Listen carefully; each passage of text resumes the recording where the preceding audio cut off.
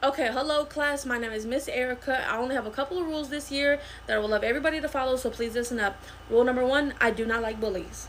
If I see you bullying another kid, any kid at all, I don't care if it's a girl and I don't care if it's a boy. You will get suspended the moment that I see that you're not getting a referral, you're not getting a second chance. No, you're getting suspended on the spot. And I will suspend you every single time that I see you doing it because it's not okay. Excuse me, but what if they're actually fat and ugly? Because you know, I don't feel like fat and ugly people deserve any kindness.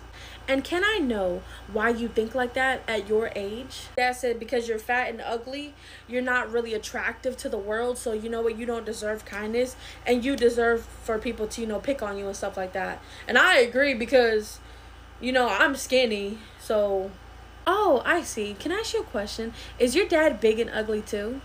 I I mean, well, he's not really attract uh, I, I don't know. So with that being said, I hope everybody understands. I hope we're on the same page. You get real life consequences in this classroom. So if you're on your phone, I'm not going to say nothing to you about it. But if you missed a lesson and you get pop, a pop quiz on Friday and you don't pass it, that is your fault.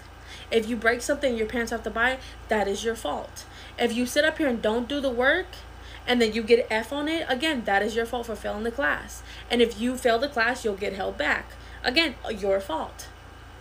So thank you. I hope you have a wonderful year and I better not see no mess, okay? But I love you all very dearly.